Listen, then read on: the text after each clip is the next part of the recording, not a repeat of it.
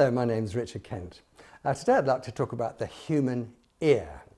Now we're told in Proverbs 20 that the Lord God made the human ear and the human eye. And they're both miracles of design, so today we're going to talk about the human ear. Um, we take our hearing very much for granted, but it's actually a very highly complex thing, hearing, our hearing is.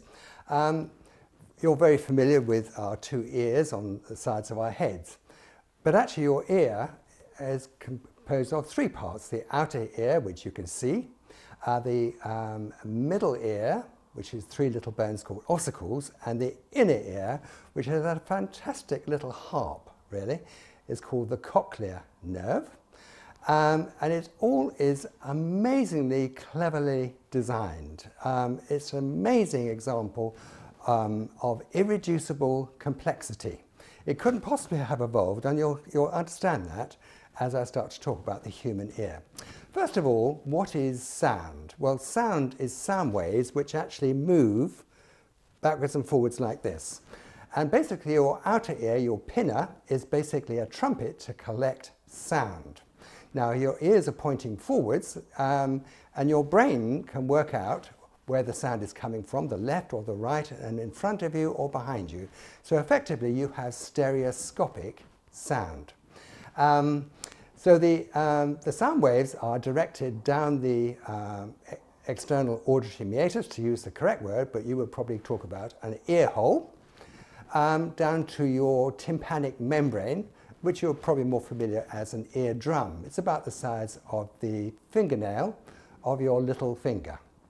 And it's a, it's, it truly is a drum, and it's kept very taut uh, by the tensor tympani muscle, because the, this little drum vibrates.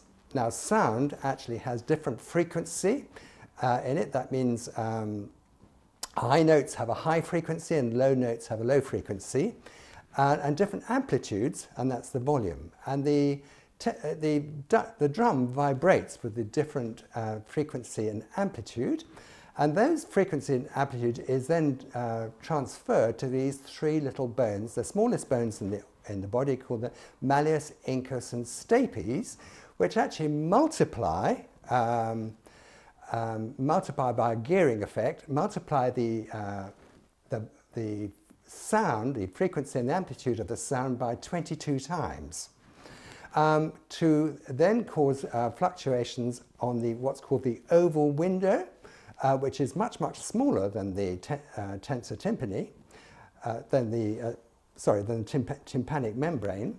Um, and the oval window causes the fluid in the middle ear to vibrate.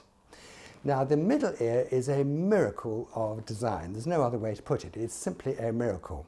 Uh, within the, um, the cochlea, it's shaped like a snail. Um, this uh, this uh, membrane, um, the basilar membrane is called, has lots of little hairs on it. Some are long, some are short, some are thick, and some are thin. And it's, they basically act just like a harp.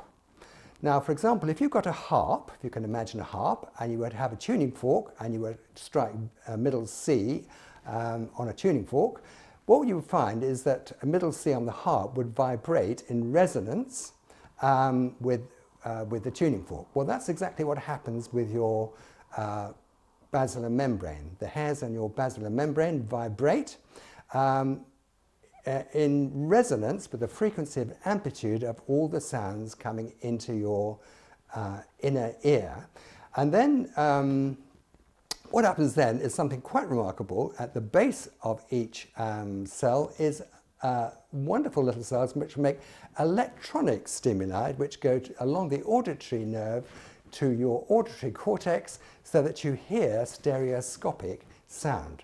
Let me tell you, this is a miracle of engineering and electronics. Uh, there's no way it could possibly have evolved. It's a miracle. God made the human ear God made the eye. It couldn't have evolved. It is truly a miracle. Thank you for listening and God bless you.